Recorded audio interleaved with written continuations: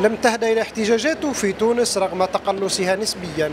ست ولايات كانت مسرحا ليلا لمواجهات بين قوات الأمن ومجموعات نجح بعضها في تخريب وحرق ممتلكات عامة وخاصة فيما تصدت قوات الأمن للبعض الآخر.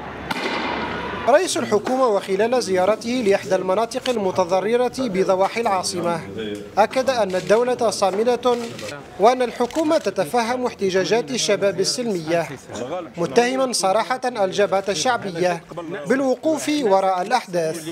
يخدموا في الفاسدين اللي إحنا وقفناهم وعبر بث الفوضى يحبوا يخرجوهم يخدموا في شبكات التهريب اللي ضربتها الحرب على الفساد ويحبوا يضعفوا الدولة. وللأسف للأسف يخدموا في بعض السياسيين الغير مسؤولين اللي يحرضوا اللي يحرضوا غير بعض السياسيين اللي غير مسؤولين يحرضوا الجبهة الشعبية.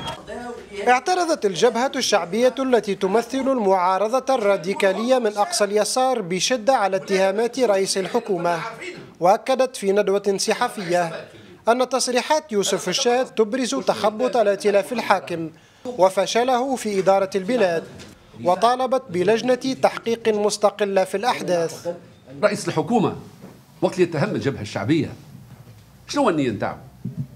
من الواضح وأنه يحب يتملص من المسؤولية مسؤولية الإجراءات اللي خذاها اللي خذاتها حكومته واللي خذاها الائتلاف الحاكم اللي هو ينتمي له. دعت أحزاب سياسية الحكومة إلى التراجع عن الزيادات لامتصاص غضب الشارع.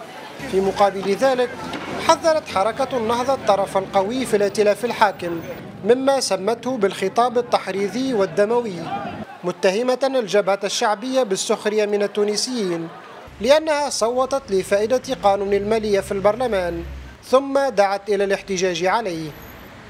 لم تهدأ الاحتجاجات في تونس تشتد ليلا لتنتهي بمواجهات مع قوات الأمن. أما في وضح النهار فتبادل الاتهامات بين الأطراف السياسية على أشده أيضا. وبين المشهدين ينتظر التونسيون نهاية ما لوضع فائق التوتر سياسيا وأمنيا. فتح الفلحي قناة Medi1 TV تونس.